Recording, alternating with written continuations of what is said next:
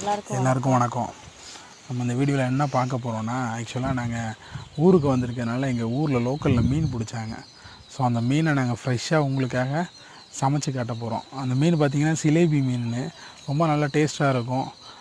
நல்லா ஒரு டெண்டியாக இருக்கும் அந்த மீன்.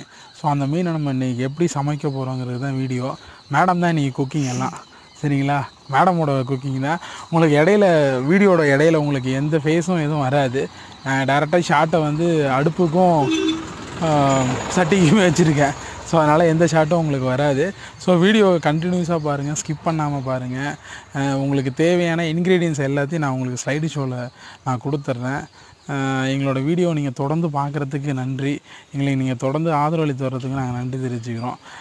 மறக்காமல் லைக் பண்ணிவிடுங்க ஷேர் பண்ணிவிடுங்க சப்ஸ்கிரைப் பண்ணிவிடுங்க ஓகேவா மறக்காமல் அந்த பெல் பட்டனை ஒரு அழுத்த அழுத்திடுங்க ஓகேவா ரொம்ப நன்றி. நன்றி.